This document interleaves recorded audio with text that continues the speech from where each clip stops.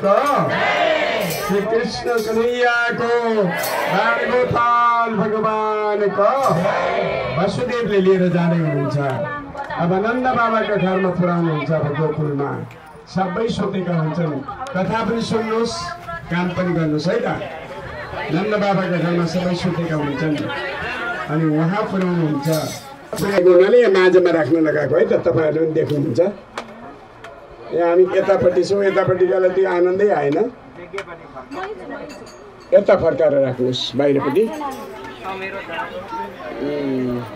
क्या सुन्दर बाल गोपाल हुनुहुन्छ उहाँ नन्द बाबा कहाँमा पुग्नु भएको छ अरे अब वसुदेवले योग मायालाई लिएर फर्किनुहुन्छ कथा सुन्नुहोस् है अहिले नन्द बाबाका घरमा द्वार ढोकाहरू खुलै छन् सबै निराएका छन् माता यशोदा गर्भवती हुनुहुन्थ्यो। सबै रुगेर बसेका थिए। मातालाई कहिले कहिले दुःख पर्ला भनेर। त्यस दिन त सबै हिँडेछन् ए कति रुँदा पनि कोही आएन बालक। अब के आइरहनु? सङ्केत होला अनि आउला भनेर गएछन्। आजै बालक आउने दिन। माता यशोदालाई अलिअलि के कस्तो कस्तो त हुँदै थियो निराइदिनु भएको छ बेलुका। राति नै कहिले बालक जन्मियो के भयो थाहा नै पाउनु भगवान् जहाँ आउनुहुन्छ पिर दिएर कसैलाई पनि आउनुहुन्न पिर दिन आउनुहुन्न माता यशोदालाई पिर भएन वसुदेव देवकीलाई पनि पिर भएन प्रकट हुने बेलामा केही पिर हुँदैन पिर दिन आउनुहुन्न भगवान् भगवान् त मङ्गल दिन आउनुहुन्छ सुख दिन आउनुहुन्छ शान्ति दिन आउनुहुन्छ पिर थिएन माता यशोदा बिउजिनु भयो बिहान वसुदेवले साटेर अघि लगिसक्नु भएको थियो छोरी चाहिँ छोरी जन्मेकी थिइन् लगिसक्नु भएको थियो। अनि बिहान बिउजेर हेर्दा एउटा निलमणि जस्तो बालक छेउमा खेलिराखेको छ। आफ्नो यसो शरीर विचार गर्दा हल्नु भएको छ। हे प्रभु चालै नपाइकन यो कसरी भयो? नन्द बाबाले बोलाउनुहुन्छ ब्रह्म मुहुर्त थियो अँध्यारो अँध्यारै थियो। बाबा यहाँ आउनुहोस्। के आपत्ति पऱ्यो भनेर गएको त बालक छन्। बाबा हेर्नुहोस् न। बालक यसरी कहिले जन्मेको कहिले जन्मेको? नन्द बाबा खुसी भएर यता र उता एकछिन तता बुझ्नुभयो के गरौँ के गरौँ? अनि आफ्ना सेवकहरूलाई बोलाएर ब्राह्मण देवताहरूलाई बोलाऊ। पहिले त ब्राह्मण देवता आउनुपर्छ हाम्रो घरमा। अनि गोकुलभरि खबर पठाऊ। आज नन्द घरमा बालक प्रकट भएका छन् जन्मेका छन्।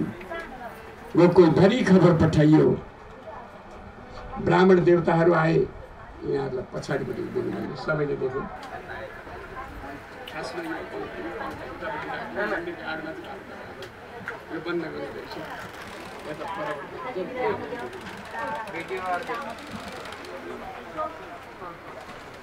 सबैलाई बिचमा यता ओरतिर बिचमा पारिदिनुहोस्।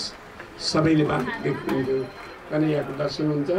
त्यसलाई उता बाहिरैपट्टि लगिदिनुहोस् त्यो पङ्खा एकछिन बन्द गरेर उता लैजाउनु एकछिन पल्लोपट्टि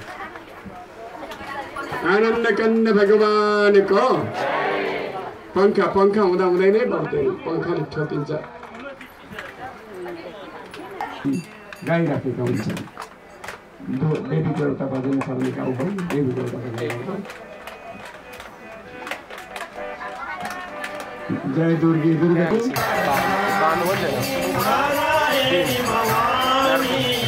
अनि त्यहाँदेखि मिडफिल्डर टेकेर फर्किन टेकेर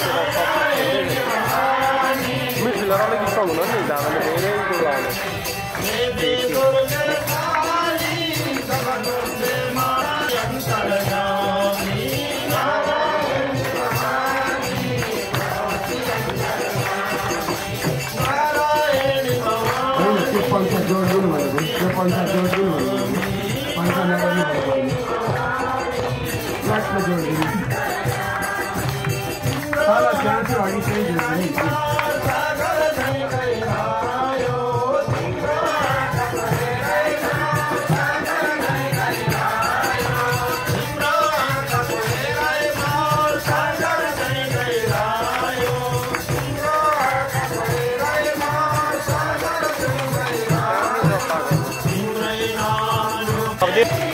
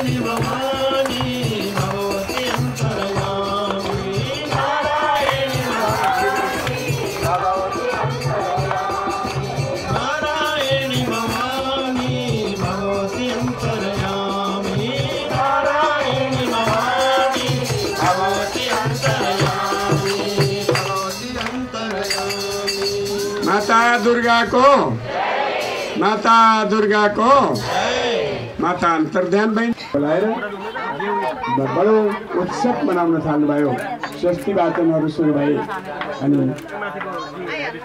सारा गोप गोपिकाहरू अब नन्द भवनमा उत्सव मनाउन जानुपर्छ भनेर तयार हुन थाले श्रृङ्गार गर्न थाले उपहारहरू भेला गर्न थाले